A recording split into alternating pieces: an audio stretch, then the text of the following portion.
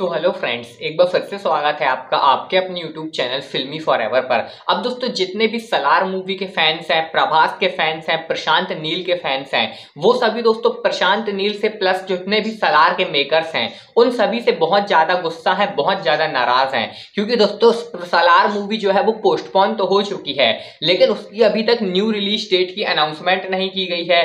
ना ही बताया जा रहा है कि सलार मूवी से रिलेटेड अभी मार्केट में क्या अपडेट चल रही है। जितने भी दोस्तों फैंस है, वो सभी यूट्यूबरों से पूछ रहे हैं कि आप ही बताइए कि सलार की अभी मार्केट में क्या अपडेट चल रही है। तो यहाँ पर दोस्तों बता दें कि जो भी मेकर्स हैं सलार के, वो सभी बहुत ही ज़्यादा गहरी नींद में सो चुके हैं। क्योंकि दोस्तों वो एक भी अपडेट नहीं दे रहे हैं, ना ही बता रहे हैं कि सलार की शूटिंग का काम बचा हुआ है, इसलिए मूवी को पोस्टपोन किया गया है। यही वो ये भी नहीं बता रहे हैं कि किसी और कारण से सलार को पोस्टपोन किया गया है। बस दोस्तों उन्होंने एक टीजर डाला था, जिसमें बताया था कि सलार का ट्रेलर बहुत ही जल्द आने वाला है। लेकिन उस दोस्तों, वीडियो को भी आए हुए छोटे से टीजर 15 सेकंड के आए हुए भी। 20 दिन निकल चुके हैं और 20 दिन से हमें सलार का कोई भी ट्रेलर दिखाई नहीं दिया है। बुक माई शो में भी हम जाकर देखते हैं तो सलार की जो 28 सितंबर की रिलीज़ डेट थी, वहाँ से हटाकर दोस्तों बुक माई शो में भी नवंबर 2023 डाल दिया है।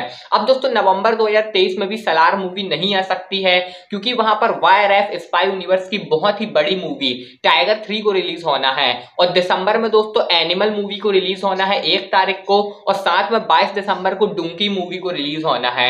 ऐसे में दोस्तों, सलार मूवी का आने का 2023 में कोई भी चांस नहीं बन रहा है। अगर दोस्तों कोई चांस ही नहीं बन रहा है तो यहाँ पर मेकर्स को सामने आकर खुलकर बात करनी चाहिए और बताना चाहिए कि हम अपनी मूवी को 2024 में या तो जनवरी या तो फरवरी में लेकर आएँगे, क्योंकि जनवरी में भी मूवी नहीं आ सकती है, क्योंकि वहाँ पर ऋतिक रोशन की फाइटर मूवी को आना है।